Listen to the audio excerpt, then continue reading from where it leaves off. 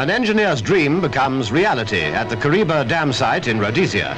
Its construction on the grand scale to harness the waters of the Zambezi to produce electricity. The powerhouse will be situated underground in a huge cavern. This has to be tunneled out of solid rock. Batteries of drills pound and grind away at the rock face, the sound reverberating round and round from walls to vaulted ceiling.